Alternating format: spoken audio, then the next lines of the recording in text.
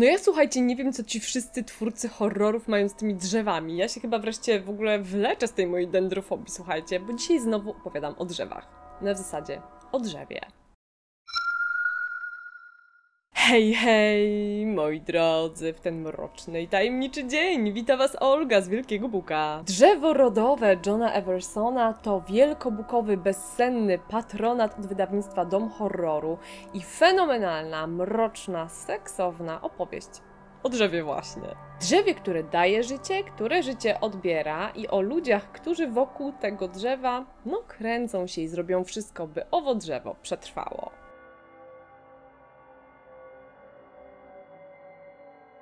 Scott Belvedere, jak zwykły 30-latek, żyje sobie spokojnie w Chicago, aż dostaje pewnego dnia bardzo intrygującą wiadomość. Po śmierci dziadka odziedziczył zajazd pod rodowym drzewem, olbrzymią posiadłość ukrytą pośród lasów Virginii. Wyrusza w drogę, no i trafia do miejsca, którego z pewnością by się nie spodziewał. Na miejscu okazuje się bowiem, że ten zajazd jest olbrzymią posiadłością, bogatą posiadłością, a jej mieszkańcy, opiekunowie tego zajazdu po śmierci właściciela, to jest bardzo ciekawa zgraja osobliwości i do tego jeszcze otaczają drzewo, wokół którego powstał zajazd, takim swoistym kultem. Wierzą bowiem, że sok z drzewa rodowego ma pewne właściwości, właściwości, których oni pragną chronić za wszelką cenę. I teraz czas na najważniejsze pytanie bezsennych wśród, czyli czy straszy? Czy drzewo rodowe Johna Eversona straszy?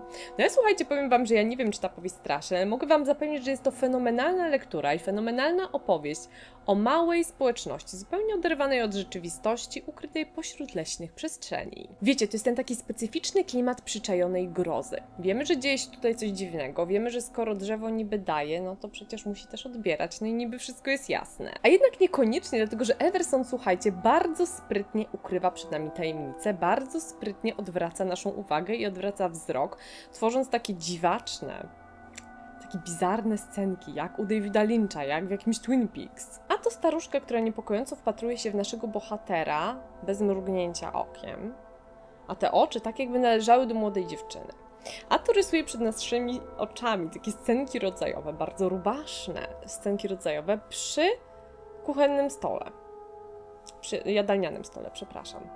Albo sprawia, że no pokoje w zajeździe no jakoś tak trochę tworzą taki mały labirynt jakby.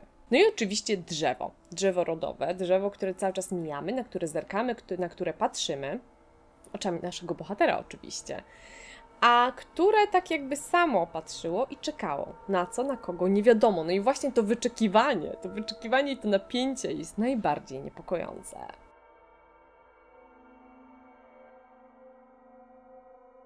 Mogę Wam tylko powiedzieć, że ja na miejscu mieszkańców zajazdu, mm, no bohaterów drzewa rodowego, ja bym również chroniła drzewo za wszelką cenę i nie pozwoliłabym wcale, żeby ktoś poznał moją tajemnicę. Oj, nie, nie, nie. Ja ich doskonale rozumiem. No oczywiście ja znam już tę tajemnicę, ja znam tajemnicę drzewa, ale tak sądzę, że wielu z Was po lekturze no pomyśli chyba podobnie.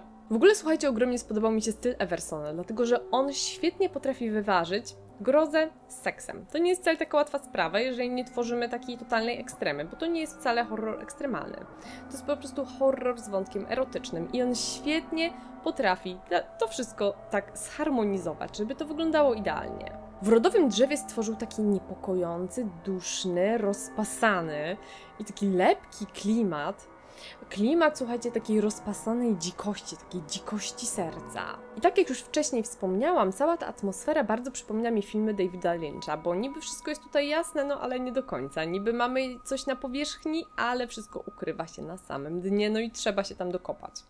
Albo samo wyjdzie, jak będzie chciało.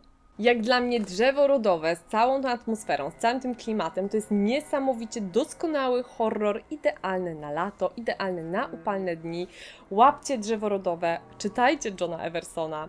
Niby nie straszy, a jednak, a jednak, ja słuchajcie tego klimatu, no długo, długo nie zapomnę. Jak ja uwielbiam takie bezsenne patronaty, w ogóle uwielbiam horrory, uwielbiam patronować horrorem, sami zresztą wiecie, a tym bardziej tak doskonałym tytułom jak Drzewo Rodowe. Pierwsze moje spotkanie z Johnem Eversonem uważam za jak najbardziej udane. Po więcej wpadajcie oczywiście na bloga Wielkiego Buka, a my widzimy się już niebawem. Do zobaczenia, pa pa!